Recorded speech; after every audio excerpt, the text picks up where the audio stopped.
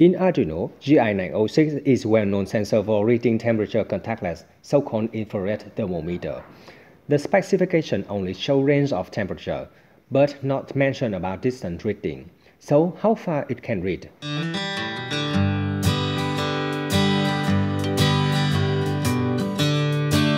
As my experience, this sensor can read just about 2 cm distance.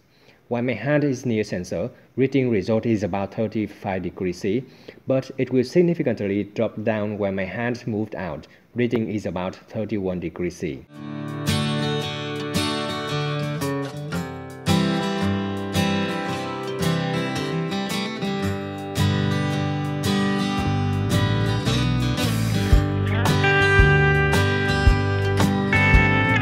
Let's take a look at an industrial infrared thermometer.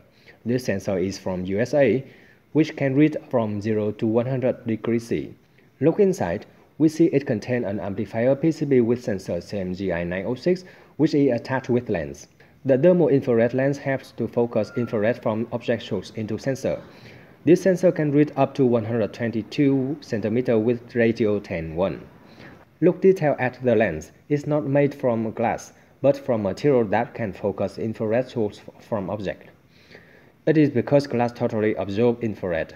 So what if we use the lens for GY-906 sensor? With lens, the sensor can read temperature up to 20 cm.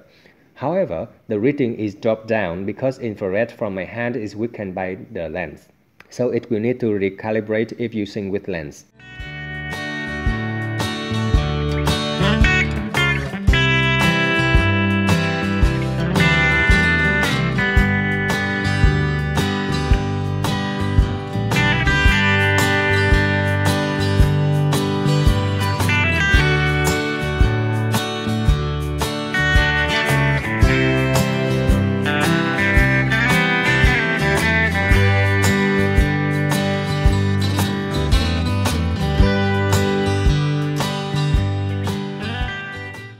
There are some kind of lens with sensor which you can purchase if you need to read temperature in far distance up to 100 cm.